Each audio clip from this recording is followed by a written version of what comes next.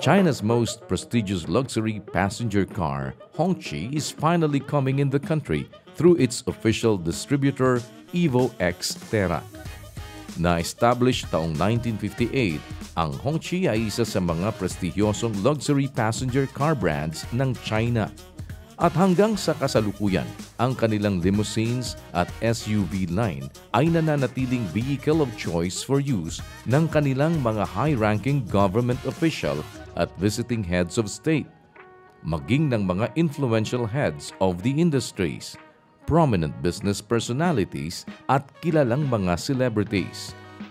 Ayon kay Evo X Terra Vice President and General Manager Robert Shaw, ito ang tamang panahon para i-expand ang Hongqi brand at mai-introduce sa Philippine market. So currently there are 20 uh, countries uh, representing Hongqi uh, respectively in their home home soil. No?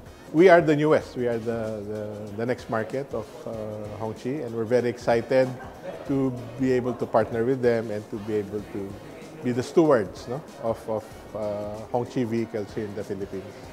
Inaasahan na may initial na apat na Hongqi vehicle models ang magiging available sa bansa sa ilalim ng dalawang kategorya, New Energy Vehicles o NEV at Internal Combustion Energy o ICE models. Ang mga ito ay fuel efficient, modern at environmental friendly. There are a number of vehicles uh, that is in the Hongqi lineup, uh, one of which is the EHS9 that you see here. Uh, this was debuted last year in the uh, Philippine Electric Vehicle Summit no? uh, in October last year. So also behind us is the new, all new H5. You know?